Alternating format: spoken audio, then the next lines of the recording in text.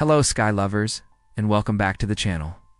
If you're new here, we bring you all the upcoming celestial events so you never miss a single magical moment in the night sky.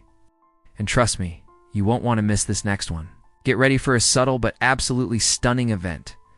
The moon is going to pass incredibly close to the distant planet, Neptune, creating a rare and beautiful pairing in the constellation Pisces.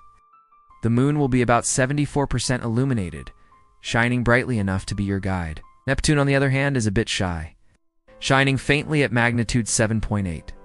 This means you'll definitely need a pair of binoculars or a small telescope to spot it. The two will be separated by just about two and a half degrees, making them a perfect, cozy target for stargazers. So, when and where should you look? For our friends in the USA, look towards the eastern sky in the late evening of November 29th. The bright moon will point you right to Neptune.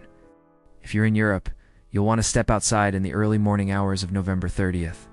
Find the eastern horizon and let the constellation Pisces guide you to this rare pairing just before sunrise. For our viewers down under in Australia, look towards the eastern sky in the late morning of November 30th, before the sun gets too high. The moon will be your bright beacon, helping you spot faint Neptune through your telescope.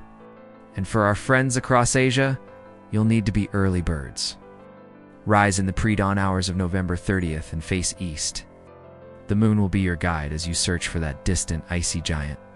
Finally, for our viewers in Africa, step outside in the early morning of November 30th and look east. Even a small telescope will reveal Neptune sitting right next to our moon. Don't miss this, folks. Neptune is the most distant planet we can see with backyard telescopes, and catching it so close to the moon is a truly rare and magical experience. These kinds of events are also fantastic practice for learning how to locate planets and really grasp the immense scale of our solar system. Here's a fun fact for you. Neptune was discovered back in 1846, not by someone spotting it, but through pure mathematics.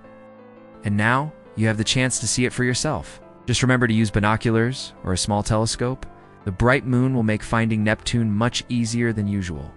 If you're in a city with a lot of light pollution, Try heading to a darker park or out into the countryside for the best view.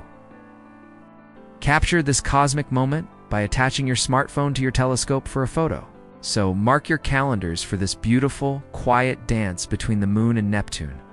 If you enjoyed this celestial update, do me a huge favor and hit that like button. Don't forget to subscribe for awesome space events and amazing discoveries happening up there. Till next time, keep your eyes on the sky, friends.